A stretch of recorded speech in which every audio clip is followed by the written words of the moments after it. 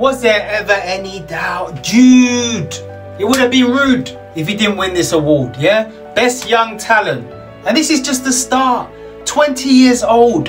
The sky's the limit.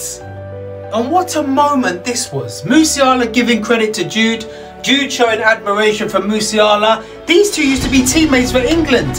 Imagine them two playing for the same country. That midfield would have been dangerous. Lovely to see that.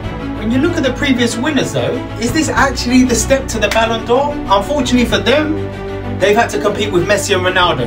Jude, fortunately, now Messi and Ronaldo will be retiring soon, sadly, so you, my guy, will 100% win the Ballon d'Or. Most players do their talking on the pitch. This guy does it with a mic as well. So articulate, yeah, very respectful, humble. You can see with all the reactions in the crowd, a very popular winner. Jude Bellingham, well done, congratulations, you will win the Ballon d'Or soon.